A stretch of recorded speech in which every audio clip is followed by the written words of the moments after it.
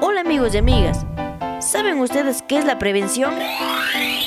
La prevención es tomar precauciones o medidas para evitar las situaciones que te pongan en riesgo. Ahora unos tips. Si estás solo en casa, mantén las puertas cerradas y no permitas el acceso a extraños. No, señor, no puedo. Tampoco den información a desconocidos que llamen por teléfono. Recuerda, la prevención es trabajo de todos. Prevenir es actuar.